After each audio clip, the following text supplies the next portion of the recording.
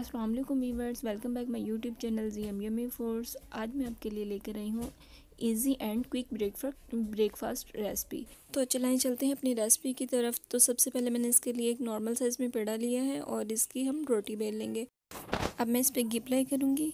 घी ज़्यादा लगाने से पराठा ज़्यादा हंसता और हंसता बनता है। और और अब मैं यहाँ पे ज़ीरा सेपरेट करूँगी। और इसके बाद मिर्च सेपरेट करेंगे। यहाँ, और आप यहाँ पे पीसी मिर्च भी ले सकते हैं। और इसके बाद हम नमक सेपरेट करेंगे। और मैं यहाँ पे धनिए के चंद पत्ते ले रही हूँ।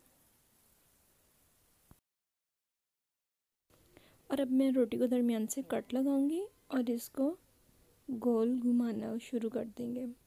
इसी तरह से सारी रोटी में घुमाते जाएँगे।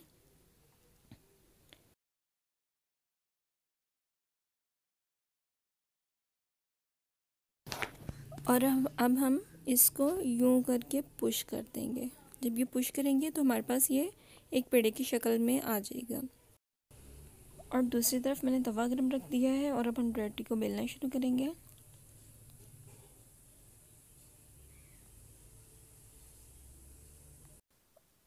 और अब हम रोटी को तवे पर डाल देंगे।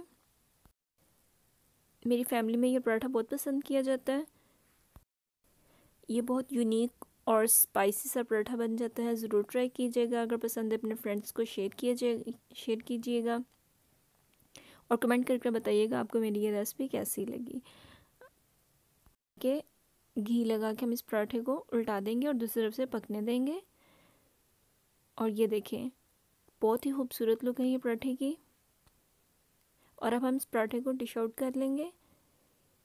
ज़रूर ट्राई कीजिएगा। पस अगर पसंद आए तो कमेंट करके बताइएगा आपको मेरी ये रेसिपी कैसी लगी।